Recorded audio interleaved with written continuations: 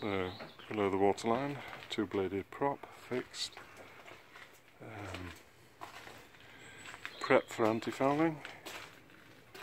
Fin and bulb keel.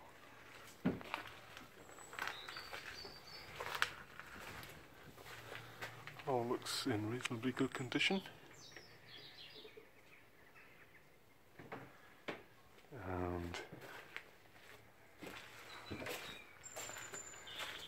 Some of it in the shade. A few scratch marks there.